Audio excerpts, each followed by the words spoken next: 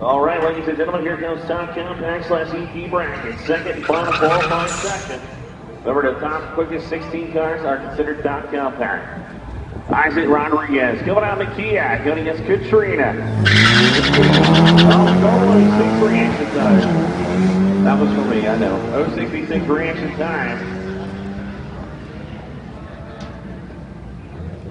Rodriguez goes around her though, top end, uh, 14 flat, 1 3 to 14.